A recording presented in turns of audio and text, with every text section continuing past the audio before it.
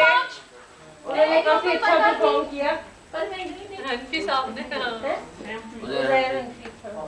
अच्छा अभी ये है कि जो ग्रांड होगी चले हेलो। फाइनल जो है ना वो प्लान करके आज कुछ उसमें तैयारी करके आए तो ना। आज तो चल गया ना पता चल गया कि किसमें क्या क्वालिटीज हैं उस हिसाब से जो है ना वो कोऑर्डिनेटर साहब मैनेज करके तो बनाओ ना क्लाइंट प्लान करके। मूवी बना